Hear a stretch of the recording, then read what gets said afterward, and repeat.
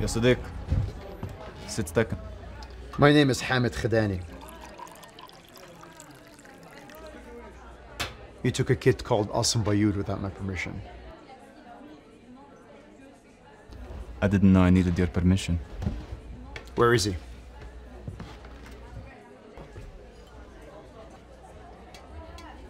I've heard stories about your operations in North Africa. This is Paris. A man of your reputation doesn't come all this way to check on one boy. I made a vow to his father before his sacrifice that I would look after his children. Girl, come here. You know this man? My father knew him in Algeria. You asked him for help?